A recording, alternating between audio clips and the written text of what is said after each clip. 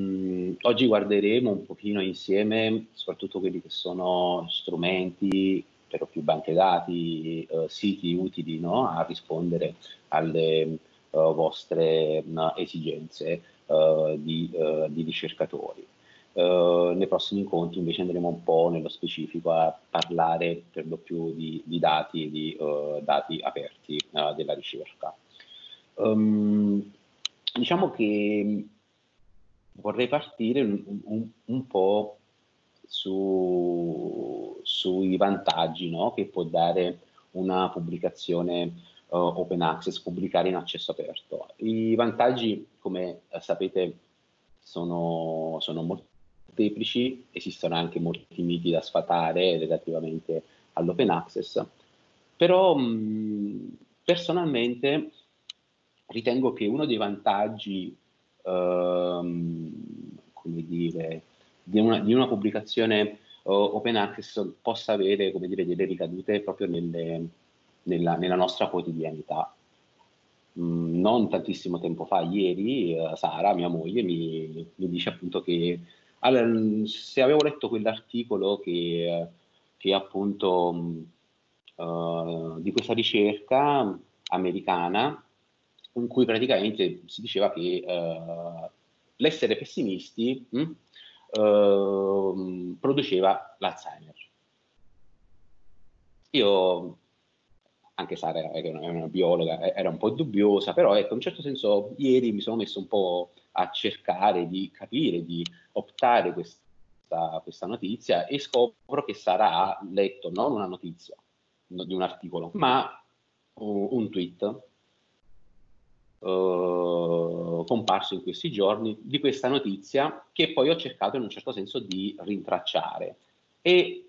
ho trovato che appunto questo tweet riprendeva, ho dovuto omettere purtroppo le indicazioni diciamo delle fonti eh, per evitare eh, diciamo eh, magari eh, spiacevoli situazioni. In ogni caso è un noto blog diciamo di divulgazione uh,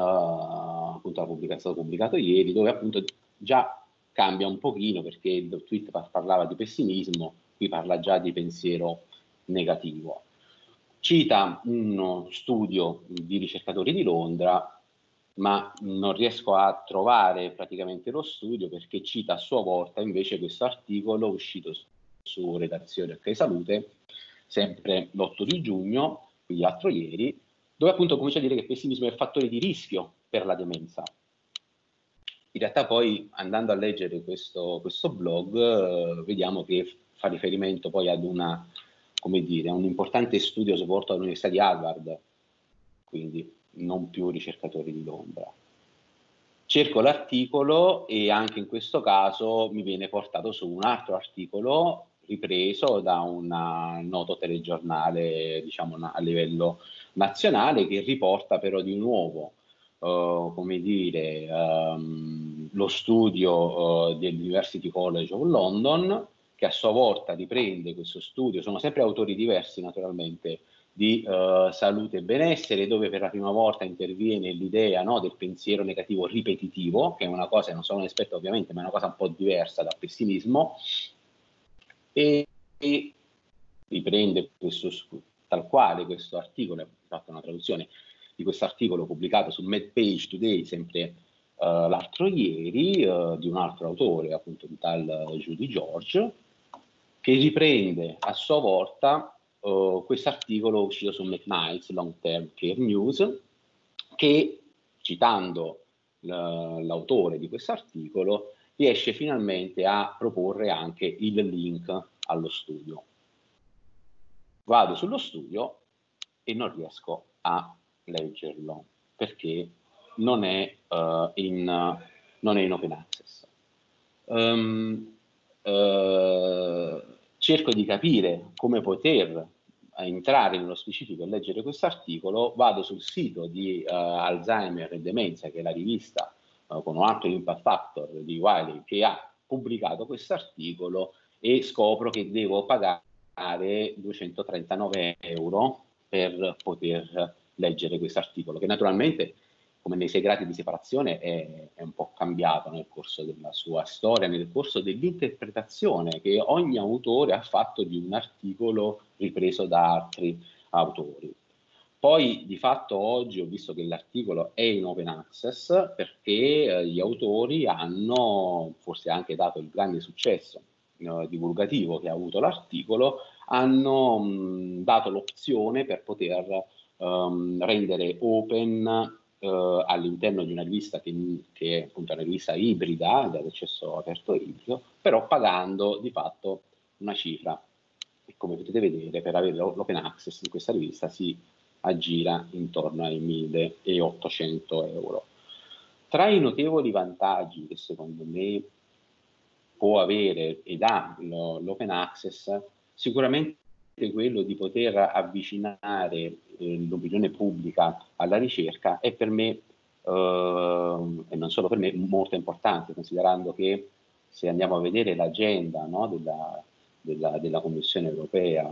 per il, dell'agenda 2030 sugli obiettivi di sostenibilità, si parla di, uh, di fare una scienza non solo per i cittadini, ma con i cittadini. Infatti le discussioni che, uh, più importanti, più, più significative che, che, si hanno in, questi,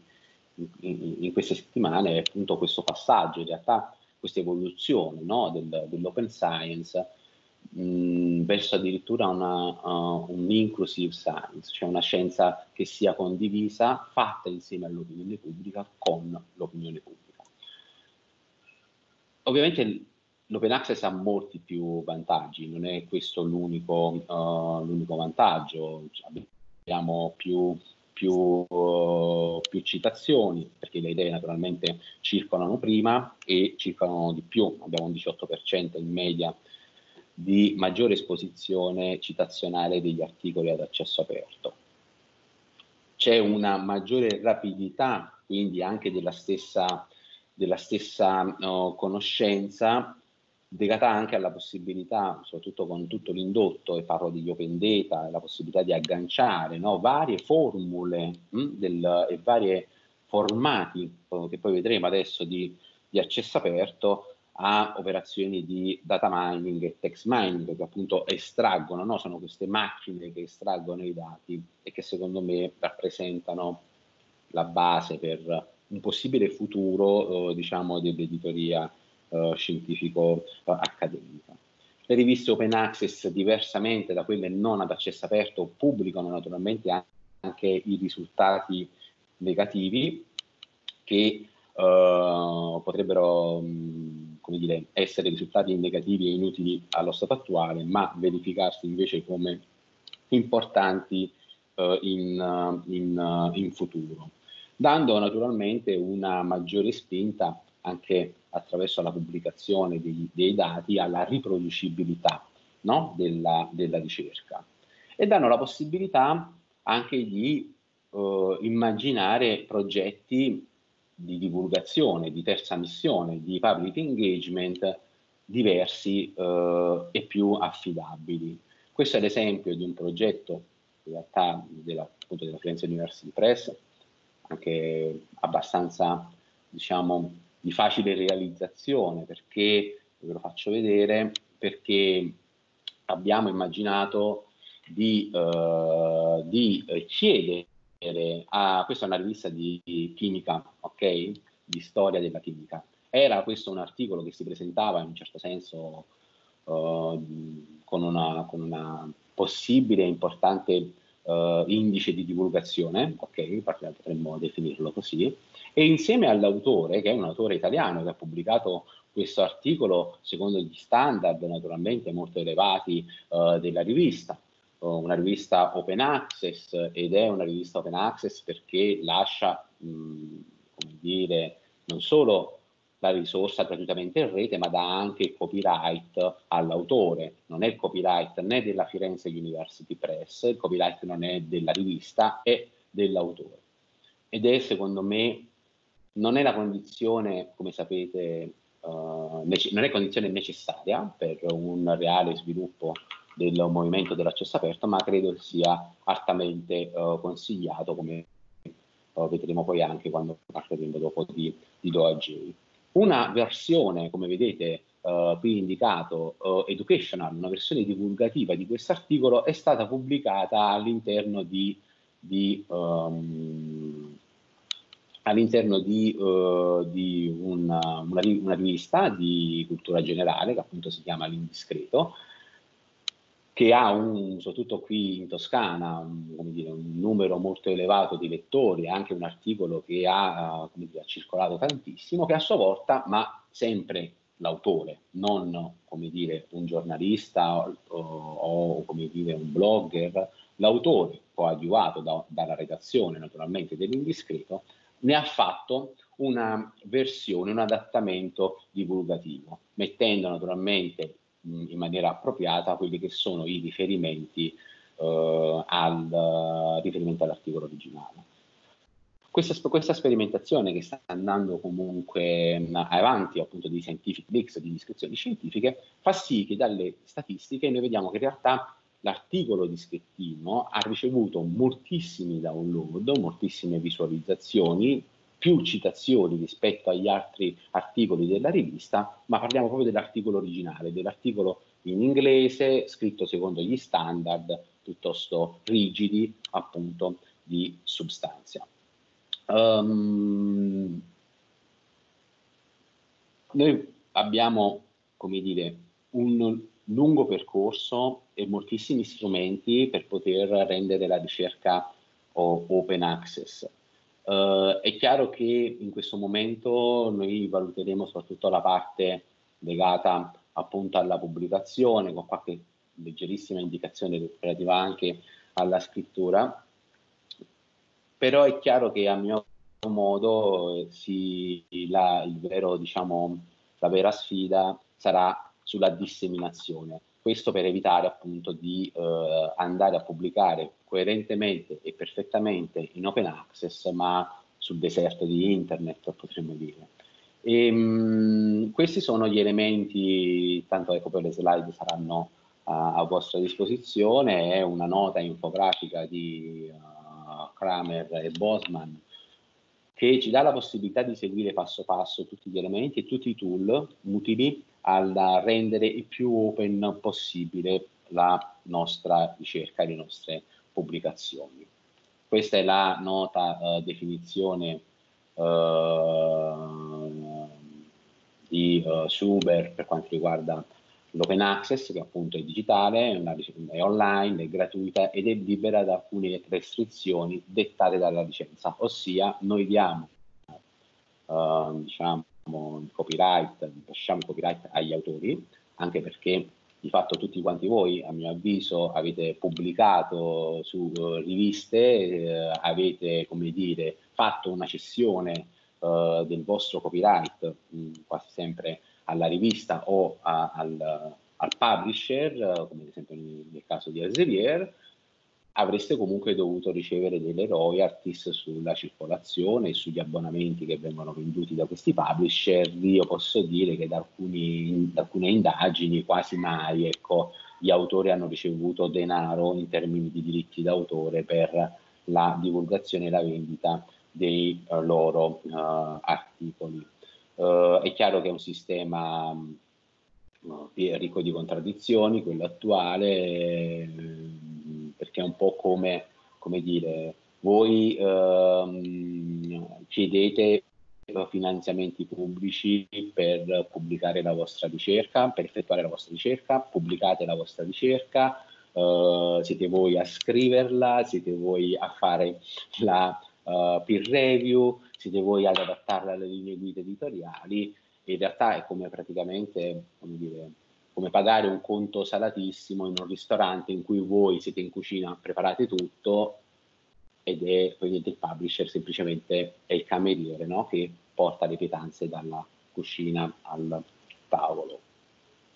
Ci sono tanti strumenti online, non potremo, non potremo mai vederli tutti oggi, Uh, per poter fare ricerca no, di strumenti gratuiti, per poter cercare articoli come nel caso dell'articolo in cui mi sono imbattuto sul, sul, sul pensiero negativo ripetitivo e poter capire se quella risorsa ha una versione presente in accesso aperto, sia il bottone dell'accesso aperto che AMP Paywall fanno praticamente la stessa identica cosa. Quindi prima di pagare un articolo per scaricarlo, magari la vostra istituzione non è abbonata, vi eh, consiglio di consultare questi due database. Questa è un'altra bellissima uh, piattaforma, una, una, bella iniziativa con sede a Berlino, Science Open, nata da un'idea legata soprattutto alla post-publication peer review, quindi all'idea che le, uh, dire, le, la ricerca non, non abbia oh, conclusione, quell'articolo non si conclude esclusivamente nel momento in cui metto un punto e lo invio ad una rivista, ma nata già da, penso, più di dieci anni sicuramente, senso bene, sono stato da loro in, uh, in, in, autunno, è stata una bellissima uh, esperienza e um, hanno tantissime risorse in, uh, in accesso aperto e uh, soprattutto mh, l'ultimo loro diciamo, uh, prodotto è quello delle collection che lo trovo davvero come dire ormai per me uh, fondamentale da un punto di vista diciamo di ricerca bibliografica perché gratuitamente un ricercatore ovviamente con un ORCID un'identità digitale riconosciuta come tale può uh, creare mh, hm, una collezione. Creare uh, una collezione può farla ad esempio anche un dipartimento della SUPSI, potrebbe realizzare una collezione uh, tematica o legata al dipartimento su, gratuitamente. No, credo che le istituzioni paghino comunque una, una quota ma bassissima annuale di gestione. In ogni caso mh, si può realizzare una collezione, ne esistono tantissime e mh, come dire ci sono gli editor uh, di, uh, di uh, questa collezione, in questo caso abbiamo appunto John Tennan che purtroppo è deceduto recentemente in, in, in un incidente stradale a Bali, sono comunque persone che si occupano di open research ed open science possono praticamente quindi raggruppare, un punto in cui raggruppare la ricerca bibliografica importante, che è ritenuta importante da questi editor all'interno di questa collezione. Un utente qualsiasi può iscriversi a questa collezione e ricevere ad esempio degli aggiornamenti relativamente a un, come dire, un'immissione ad esempio di un nuovo uh, articolo e soprattutto gli editor di questa collezione possono invi invitare Uh, colleghi a fare revisioni di uh, articoli già uh, pubblicati. Quindi oltre ad essere una piattaforma che mette a disposizione risorse open, dà la possibilità anche di dire, personalizzare e realizzare quasi dei mini siti bibliografici, dei database bibliografici a, a, a, un singolo, a un singolo ricercatore. Um, sono tanti, dicevo, gli strumenti per poter cercare eh, articoli eh, in open access. Questo è un, è un, è un elenco che oh, dire, riporta sia Science Open che, che il bottone sull'accesso aperto. Oh, c'è anche qualcosa che c'è Science, Science Open, vedremo anche uh, adesso DoAJ ed è praticamente l'infografica che ho twittato ormai un po' di tempo fa su Twitter, subito ho ricevuto, diciamo, oltre che una quantità indescrivibile di, di, di condivisioni, ma soprattutto diversi, diversi eh, come dire, commenti come quello che vedete, in cui mi veniva chiesto come mai non c'è eh, il famoso hub, perché è illegale, perché eh, um, naturalmente nel momento in cui utilizzate uh, si ha per ricercare articoli o libri in accesso aperto, in realtà state scaricando illegalmente del materiale protetto da copyright, mentre uh, diciamo, le risorse che vi segnalo qui sono tutte risorse libere e uh, legali. Um, un'altra risorsa molto utile a mio avviso è un progetto della diciamo, della Harvard University e legato a Spark Europe di Vanessa Prudman, a cui ho collaborato per oh, quasi uh, due anni, uh, è appunto l'Open Access Tracking Project. Uh, ve lo faccio vedere rapidamente, si tratta praticamente di un hub, di un grande aggregatore. Uh, si tratta di chiunque può uh, partecipare come taggers volontar- volontariamente, il corso lo fa proprio Peter Schubert, eh, che ho avuto l'onore di,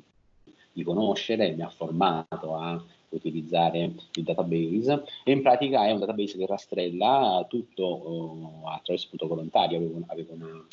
diciamo, una responsabilità per quanto riguarda la Spagna, l'Italia e parte dell'Inghilterra, inserendo all'interno della, della, di, questa, di, questa, enorme banca dati tutti gli elementi eh, relativi al mondo dell'open access, dell'open science e delle risorse educative aperte in generale. Ed è mh, il database che dovete utilizzare di fatto per avere un'informazione veloce, in diretta, su quello che viene pubblicato oggi nel mondo relativamente su, su, su uh, degli argomenti uh, che uh, vengono classificati con tag. In pratica taggers, il lavoro che ho fatto, ho, ho fatto io per loro, Uh, era dire, utilizzare tutti i miei uh, contatti, strumenti per conoscere le risorse messe, i tool messi a disposizione e poi in base alla caratteristica di quella risorsa, di quell'articolo, di quel database, di quell'iniziativa, fare taggare la risorsa in maniera tale che oggi se voi volete eh,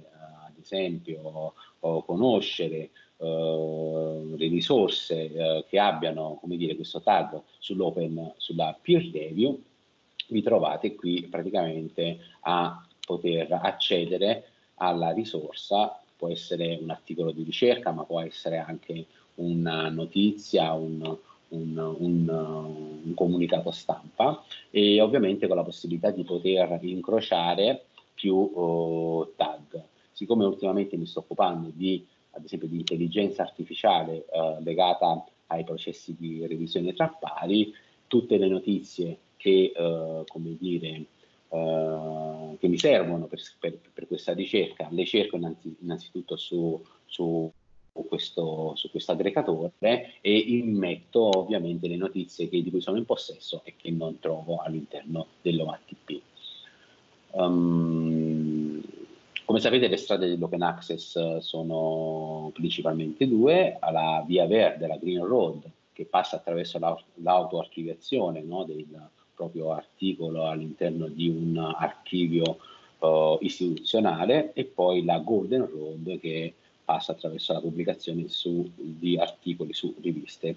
uh, direttamente ad accesso aperto.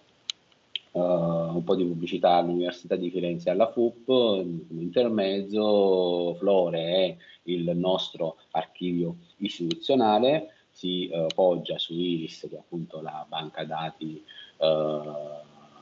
cui partecipano la maggior parte uh, degli istituti universitari uh, italiani e uh, è naturalmente un archivio open access dove è possibile de- depositare contributi su rivista, contributi su volumi, atti di convegno, libri, curatele e brevetti. Uh, la via uh, Aurea invece uh, è rappresentata naturalmente dalla Firenze University Press e dalle nostre riviste, ormai siamo ha uh, quasi 50 riviste open access e sono tutte uh, naturalmente ad accesso aperto con una licenza in Creative Commons Attribution, quindi ma, mh, nella maniera più open uh, possibile. Per pubblicare una, una, una articolo in open access, questo di John potrebbe essere il flusso da tenere a mente e quindi uh, se si conosce una rivista open access verificare innanzitutto, ora lo vedremo su DOAJ, su ThinkCheck Submit se è realmente una rivista open access e in tal caso pubblicare. Se invece non si conosce una uh, rivista gratuita, quindi uh, senza APC, uh, è necessario pagare per pubblicare l'articolo, allora verificare innanzitutto se c'è un finanziamento possibile per, generalmente con, propria, con, il proprio istituto bibliotecario per pubblicare su questa rivista. Se invece non ci sono fondi a disposizione, allora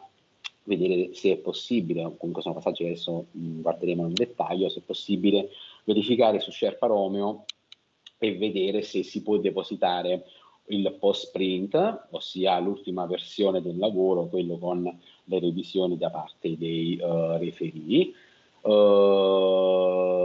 se questo non è possibile, allora mh, vedere se almeno l'editore dà la possibilità di pubblicare uh, la versione pre-print, quella diciamo senza le revisioni formali da parte, uh, del, um, da parte, del, publisher e se neanche questo è possibile forse come dire uh, è il caso di uh, cambiare e scegliere un'altra rivista.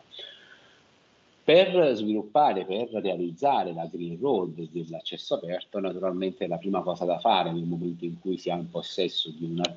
possesso di un articolo pubblicato con una rivista, è controllare su questo database che adesso è in fase di aggiornamento, Sherpa Romeo, se, uh, come dire, um, le, se l'editore ecco, è in anagrafica e il colore che ha questo editore, perché in base al colore di Sherpa Romeo è possibile capire cosa si può archiviare, dove e quando. Vi faccio vedere rapidamente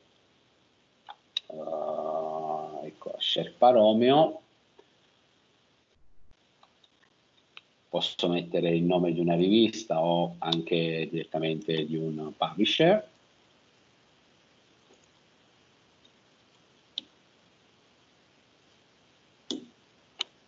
E come vedete uh, la Firenze University Press è uh, citata come ed- editore verde e quindi se hai pubblicato di fatto con la Firenze University Press puoi archiviare sia la versione preprint o quindi quella diciamo precedente alla, uh, alla, alle, ai commenti dei revisori, sia quella con i commenti dei revisori, sia addirittura la versione diciamo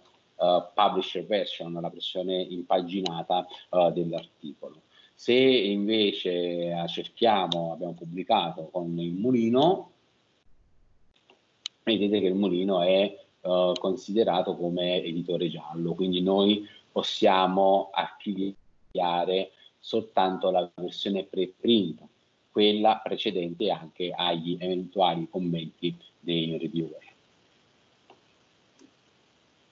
Insieme a Romeo naturalmente non poteva mancare Giulietta, che è uh, la banca dati appunto che riporta l'elenco di tutte le istituzioni e gli enti di ricerca e uh, che finanziano di fatto uh, l'accesso aperto e che naturalmente finanziano l'accesso aperto in base ad alcune uh, condizioni.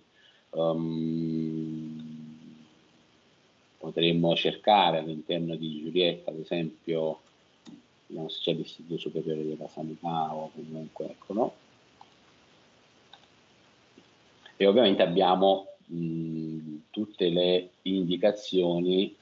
de, uh, se, se, hanno proprio una, una, dire, una policy chiara sulla pubblicazione, policy generiche o comunque possibilità anche di, uh, di uh, embargo o meno.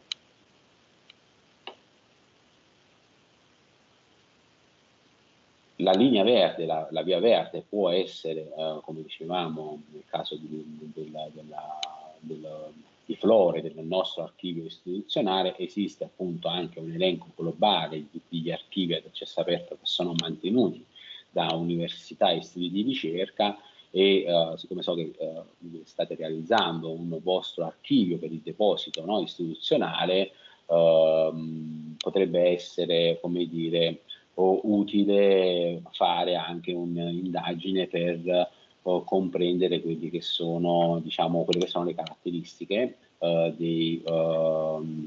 dei, vari archivi, con delle schede naturalmente legate anche a chi può, o, chi può immettere, chi può, si può depositare un articolo, chi invece magari che tipologia di materiale è possibile depositare, eventuali embarghi, eccetera. Un altro modo, uh, diciamo, per poter uh, pubblicare open access nel caso in cui pubblicare open access nel caso in cui, ad esempio, non potete uh, l'editore non vi dà la possibilità di, di depositare nessuna delle versioni, anche perché non sono rari i casi in cui un publisher chieda anche una somma di denaro all'autore per autorizzarlo a uh, immettere un, un, un, su, su, sull'archivio istituzionale della, della, propria università o del proprio istituto la versione uh, preprint. Potete sicuramente fare riferimento a Open Science Framework, che è un server di preprint. Parliamo praticamente di, uh, di articoli uh, che, uh, che, in molti casi non, non, hanno ancora un publisher, non hanno ancora un, un, un editore oppure non sono stati ancora sottoposti ad, una, ad alcuna procedura di referaggio, ma sono esclusivamente il frutto di una prima collaborazione, spesso sono anche articoli non completamente diciamo scritti, ecco anche magari micro articoli come in molti casi uh, avviene. Uh, qui è, questa è una buona banca dati sia per poter fare ricerca praticamente di preprint.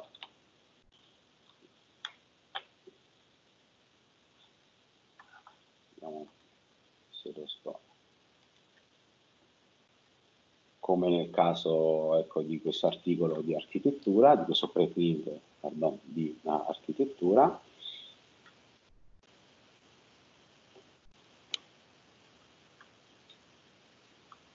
che ovviamente, a cui ovviamente è stato anche già, come vedete, non, non ha un layout editoriale, scusatemi, è diciamo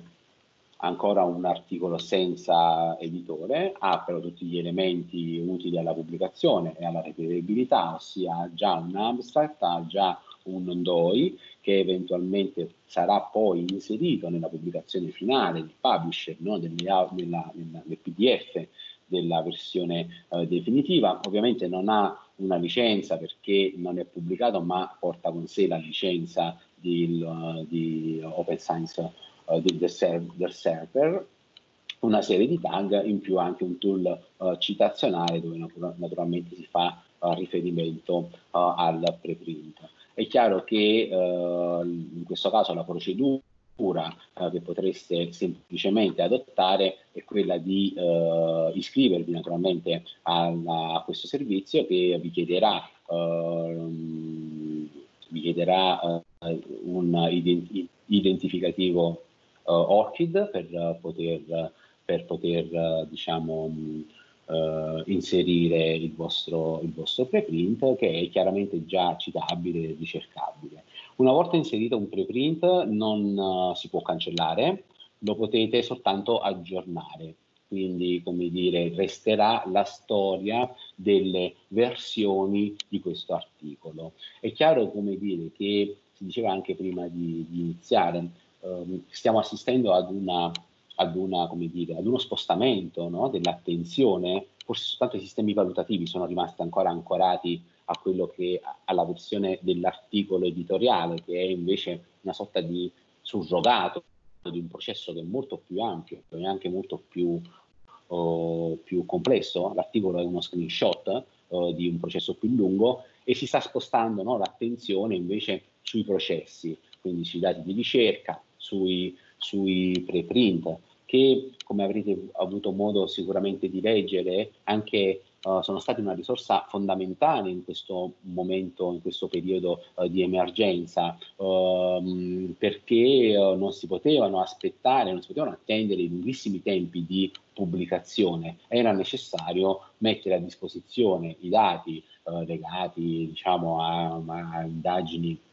epidemiologiche e, e il più eh, velocemente e più in fretta possibile. Ed è ovvio che dall'altra parte eh, bisogna poi considerare che sono anche dei, degli articoli non sottoposti ad una procedura di revisione tra pari e quindi da prendere no? naturalmente con le eh, dovute eh, precauzioni. Tra un preprint, eh, come dire, vero e proprio, quindi inviato direttamente ehm, su una su una di queste piattaforme, esiste anche la possibilità, ad esempio, di, che, di fare quello che abbiamo sperimentato noi in FUP, ossia il Just Accepted. Uh, cioè mh, noi abbiamo, vi faccio, vi faccio, vedere, noi abbiamo praticamente uh, lanciato in occasione uh, della, diciamo della, della, dell'emergenza con circa mh, 30 riviste abbiamo avuto praticamente quasi come una sorta di, anche devo dire, di, di, di impegno civico di, di, volontà forte di voler contribuire in qualche maniera alla, alla, a comprendere la, la situazione assurda no? che, uh, che, abbiamo vissuto e che stiamo ancora uh, in parte uh, vivendo, lanciando una serie di tematiche sul Covid-19. ovviamente noi avendo delle riviste appartenenti a più ampi disciplinari, dall'architettura alla pedagogia, alla chimica, alla fitopatologia, alla medicina, ci siamo ritrovati con un progetto nato inizialmente mh, uno a uno, cioè in singole riviste, un progetto invece più ampio che uh, ha poi fatto sì che le riviste in un certo senso si unissero no? uh, tra loro nel lanciare queste call for papers. Ed è, uh, infatti vi faccio vedere, questa è la pagina dove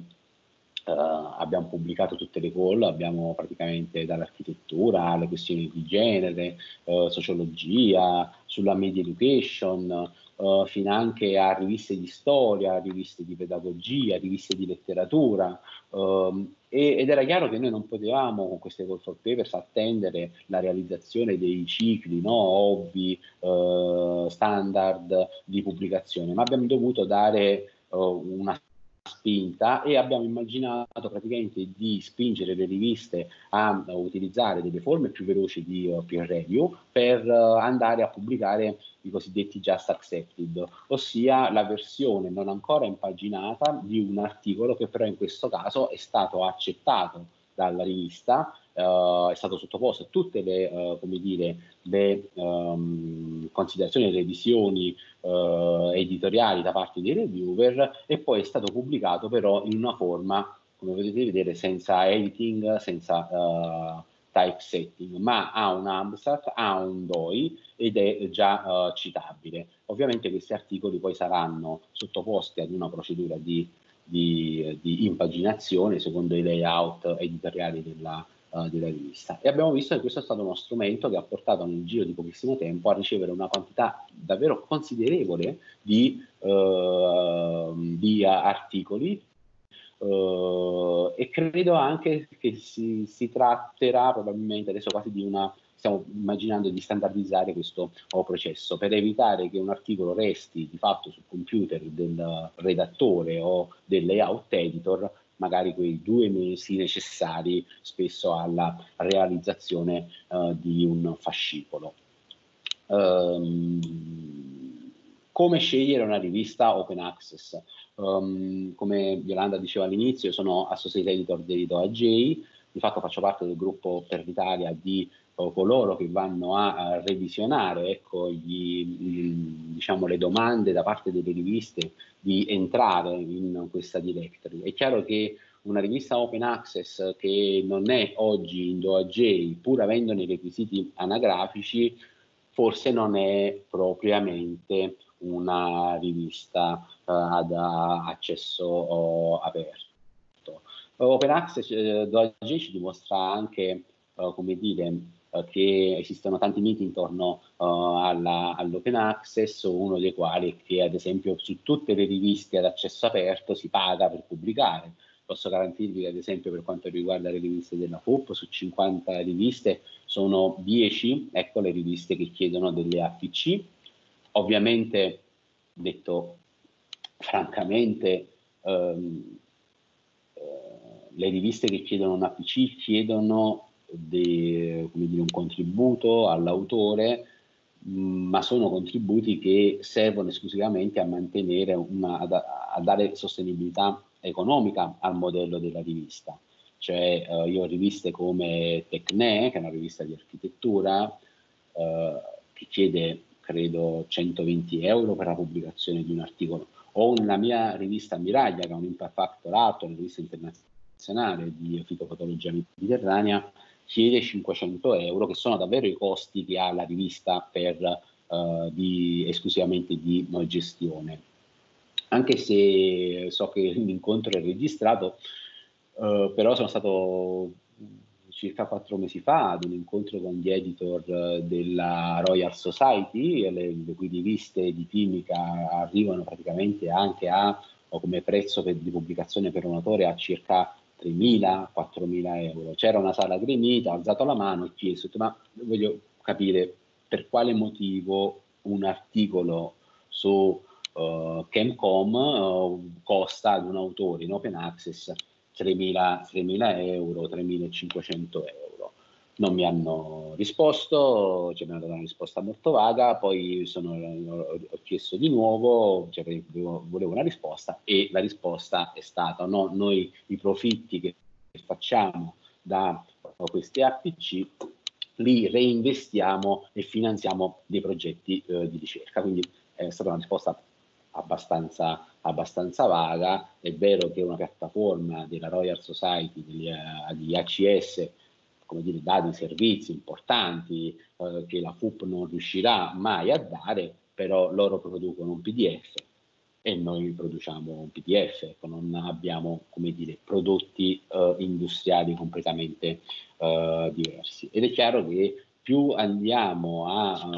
a ritroso a scoprire, a mettere luce sui, sui processi che, mh, che, troviamo prima mh, della, della, della, della mh, semplice uh, e finale pubblicazione dell'articolo, è chiaro che naturalmente i margini di distanza tra un preprint della FUP e un preprint di ACS inevitabilmente si riducono e questo è il motivo per cui uh,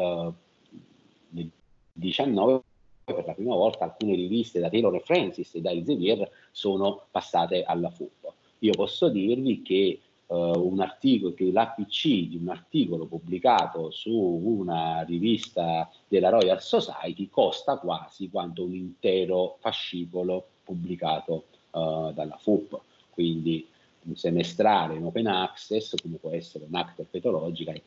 come costi di produzione siamo mediamente intorno ai 3.000-4.000 euro uh, a fascicolo con servizi, con servizi standard. In DoAJ eh, sfatiamo uno dei miti, che è appunto quello che tutti, tutte le riviste open access eh, chiedono pagamenti, infatti vediamo che delle circa 14.000, 15.000 eh, riviste indicizzate in DoAJ, soltanto 4.000 chiedono, oh, come dire, un contributo agli autori per la pubblicazione di queste 4.000 riviste, moltissime hanno delle waiver policy per uh, giovani ricercatori o per coloro che provengono da paesi in via di sviluppo. La maggior parte delle riviste censite da DOAJ non chiedono alcun pagamento uh, per pubblicare. Naturalmente qui è il primo punto, quindi partendo da, naturalmente dalla banca dati, dalla suddivisione della banca dati per argomenti, per subject, per uh, sigillo, appunto che è un sigillo di qualità, riviste che sono particolarmente open e come dire, hanno, hanno adottato uh, elevati standard di uh, best practice editoriali, naturalmente poi per paese, per editore e per data di aggiornamento. Un altro sito utile alla, come dire, alla ricerca della, di una buona rivista open access è uh, Shimago,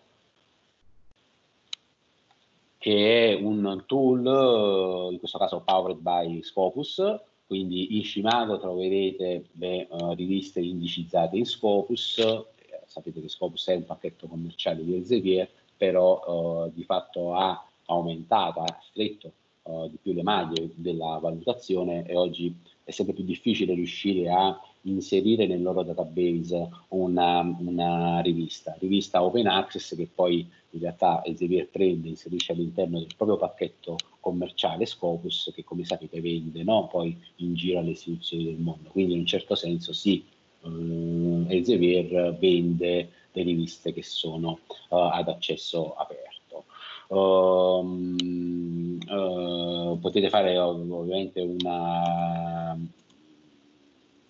ricerca per,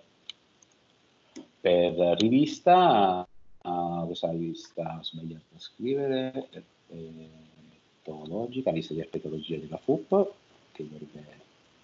essere indicizzata in Scopus e vi mette a disposizione quello che è l'H-index, che è, vera, è, è proprio un indice no? tipo l'impact factor, ma con algoritmi, un algoritmo leggermente, uh, leggermente, diverso. E, uh, e, poi avete la possibilità ovviamente anche di poter confrontare tra loro riviste per area disciplinare, ma anche diciamo per soggetto, paese e regione ovviamente uh, misurando quello che poi loro, l'indice appunto che ha uh, Scopus di uh, impatto della, um, della, rivista. Um, come sapete, um, spesso un altro mito da sfatare, mi trovo spesso a sfatare, quello legato ai, alle riviste predatorie, non c'entrano assolutamente nulla con le uh, riviste uh, open access. Um, si può immaginare di, dire, di, poter essere immuni in un certo senso da, da frodi come queste, vi garantisco che non è semplice perché anche a me è capitato di, dire, di, di, di cadere in, in, in, in, una rivista uh, predatoria. Uh, perché mh, non è semplice uh, individuare praticamente uh, la cattiva, la malafede di questi, di, di, questi editor, di questi, di questi publisher. in questo caso, ad esempio, è una classica email inviata ad uno dei direttori, tra l'altro scientifici, della, di, una delle mie riviste, che, in cui questo questa, questa compagnia editoriale eh, chiede eh, di voler tradurre in inglese un articolo in italiano che aveva scritto su un'altra rivista in realtà eh, il punto è che eh, fortunatamente Roberto mi ha, mi, ha, mi ha, scritto subito, però in, in ogni caso loro ehm, non, facil, non, è facile identificare una rivista predatoria, perché poi di fatto ti fanno fare una proposta, una submission attraverso una banca dati, un sistema, si flaggano dei consensi e poi in uno di quelli c'è scritto che appunto alla pubblicazione dell'articolo arriverà poi una bella fattura per il servizio di pubblicazione che però non è stato chiarito fin dall'inizio. A quel punto poi è uh, difficile non, uh, non, non, uh, non pagarli.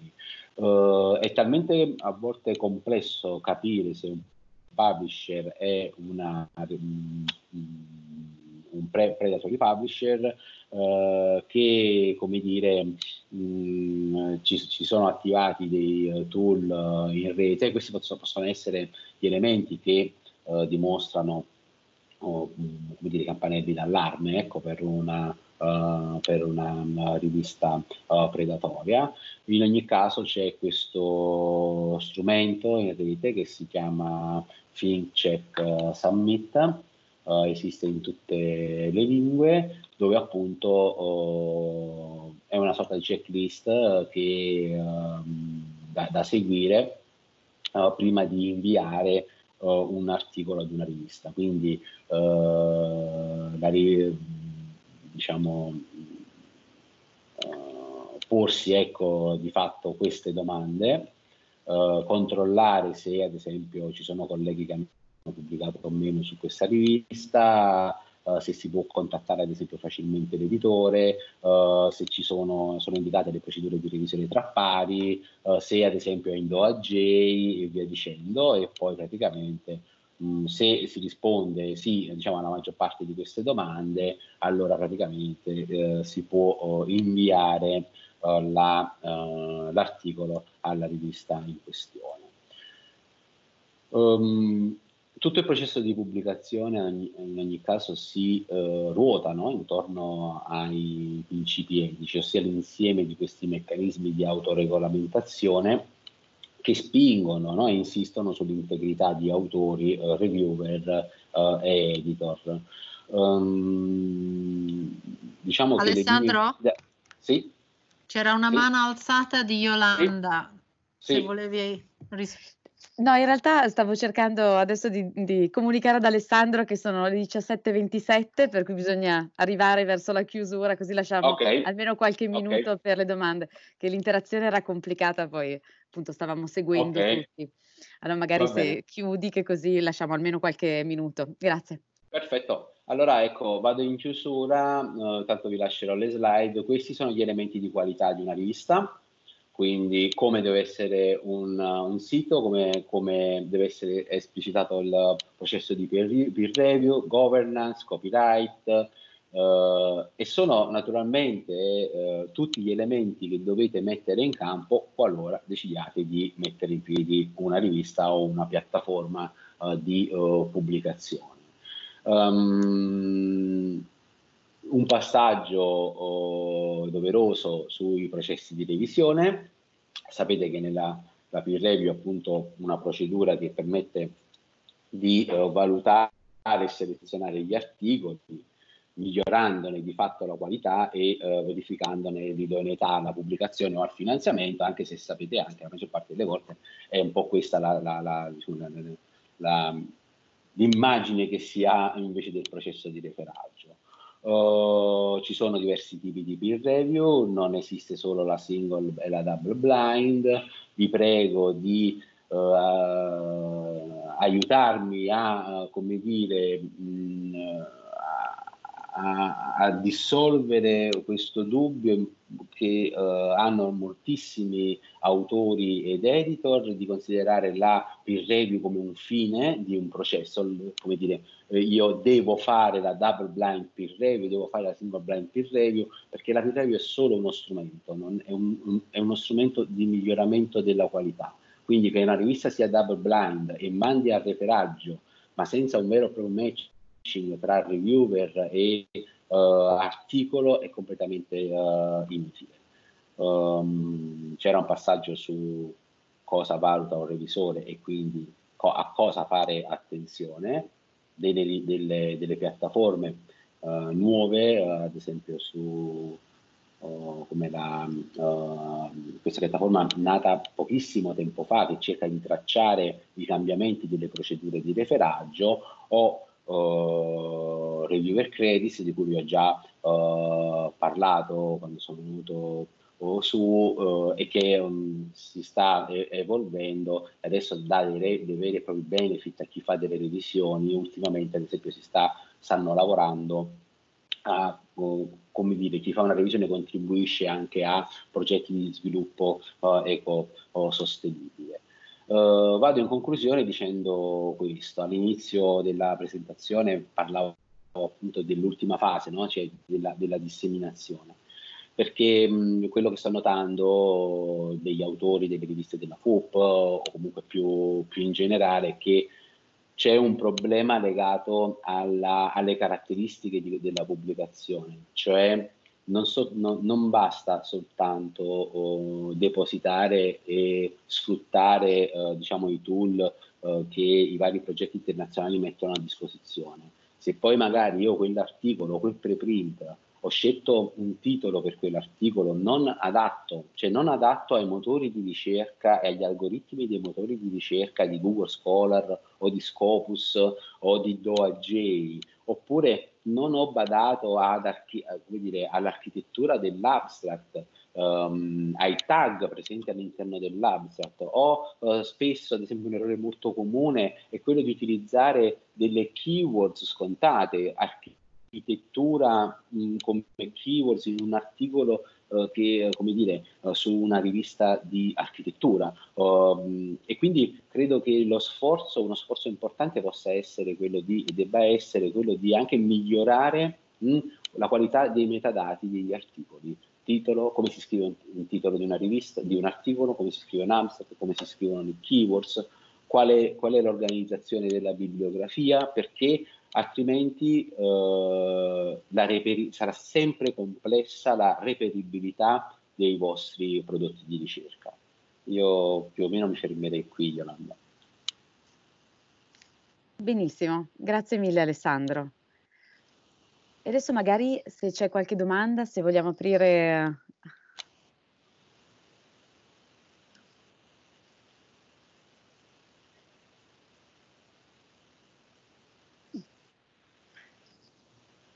Vedo che gli argomenti sono stati affrontati in modo molto esaustivo e molto ricco. Io avrei una domanda, scusa, sulla slide che dove è abbastanza complesso tra gold e green. Eh, se puoi sì. magari eh, dire qualche parola su, slide, su, questa slide, perché mi sembra molto ricca ma, eh, di contenuto, ma forse molto scontato per te. Sì, non... forse, mm, ok. Uh, interromperti prima. Sì, no, no, no, okay, in ogni caso, come dire, questa è, questa è innanzitutto è una, è una, pubblicazione che potete scaricare liberamente da questo link, è una pubblicazione open access ed è una pubblicazione in cui c'è tra l'altro anche un mio contributo dove mi occupo su come poi far girare questa, questa roba in accesso aperto. Um, uh, l'open access uh, si, come dire, si esprime in queste, in queste due maniere, cioè o pubblichiamo su articoli su, direttamente su riviste open access, quindi come una rivista della Firenze University Press, oppure depositiamo una versione di questo articolo, ovviamente precedente a quella finale, sul nostro archivio istituzionale. Cioè, se io di fatto un mio articolo lo pubblico sul, ar- sull'archi- sul mio articolo sul, sull'archivio che state mettendo in piedi come uh, istituto, di fatto ho realizzato uh, pienamente l'open access. È valido anche per i finanziamenti ecco, della, della, Commissione europea che come sapete uh, chiede ad esempio il, il, um, il, che, che, la pubblicazione sia in open access e il deposito su un archivio istituzionale uh, come quindi in, uh, un autore dell'Università di Firenze fa in Flore, è di fatto una vera e propria pubblicazione a tutti gli effetti uh, in accesso aperto.